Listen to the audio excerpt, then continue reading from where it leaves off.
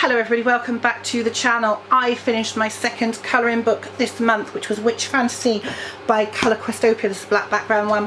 Um, I have now finished it, yay! So I'm going to do a flip through of all the pages and including the bonus pages so you can see how the book looks complete. Ah, wow, I'm so proud of myself for actually finishing two books. I don't always colour the front, so if I haven't, I'm not going to.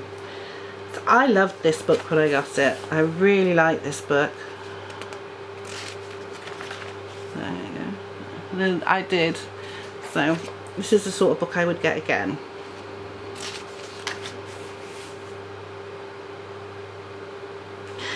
I think there's not, you know, the colours are great, um, but there's no like real reds very much. And I'm a big person who likes red.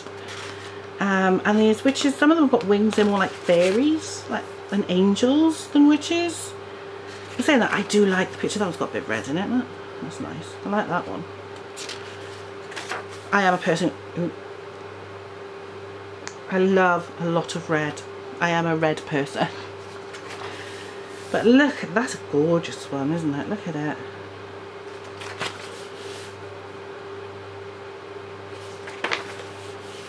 I can't believe I finished another book. It, it's, it is quite makes you proud when you finish another book so I'm really happy.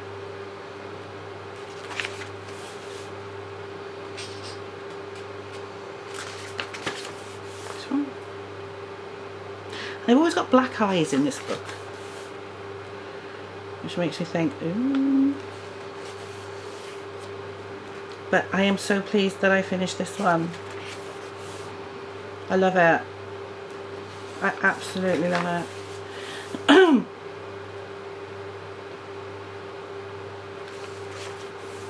that one is so pretty. Like that one. And then we're on to the bonus pages. So the bonus pages were from Happy Halloween.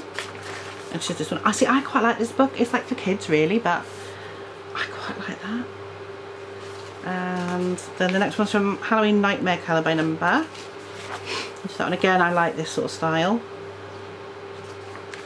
hand's bigger than the, the you notice that the hand is bigger than the gravestone.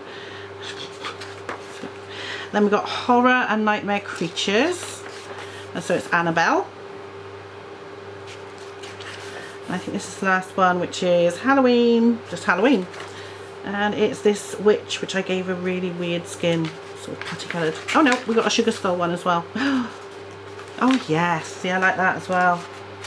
And that's the last one. So there very quick flip through, three minutes long, just over, of my finished colouring book. Hooray! I am so proud of myself for finishing another book. Thank you for stopping by and watching this flip through. I will now be storing it in my completed book box, which has only got one other book in it at the moment. But hey, who knows? We could have more in there by the end of the year. Thanks for stopping by, and I will see you again very, very soon. Bye everyone.